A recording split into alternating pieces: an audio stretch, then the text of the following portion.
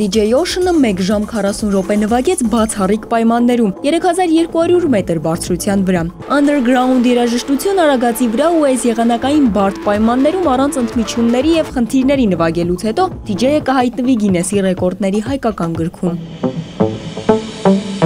Խնդիրը հեշտ չէ, DJ եւ ստեղծագործական թիմը Արագած լեռան բարձունքին են, մոտ 3200 մետր բարձրության վրա։ Ալբերտ Կուշուդյանը խոստովանում է, այստեղ այս բարձունքին նվագելը բարդ է։ Կա ձայն ու երաժշտությունը տարածության մեջ ճիշտ կարգավորելու խնդիր, ճշմարտ ատանումների պատճառով։ Գաղափարը մեր ընդհանուր թիմի աշխատանքի աշխատանքից հետո ծնվեց եւ որոշեցինք, որ պետք է ինչ-որ մի նորություն լինի Հայաստանում եւ գրանցենք ինչ-որ մի ռեկորդ կոնկրետ այս ասպարեզում։ Մինչեւ հիմա մասնակցում է դիջեյական ավանդական բոլոր իրադարձություններին։ Հետո որոշեց կանի այն, ինչը դեռ ոչ մի հայ դիջեյ չի արել։ Հայաստանում այսպիսի ռեկորդ դեռ չի եղել։ Դյուցազունների հայկական ասոցիացիայի նախագահը հաստատում է, չի եղել, եկել են տեսնելու ստացվի կգրանցան ռեկորդների գրքում։ Դժվարությունները դե պատկերացի կա կամպանետեր ամեն թթվածինի պակաս, եղանակային պայմաններ, սա համենայն դեպս կապված է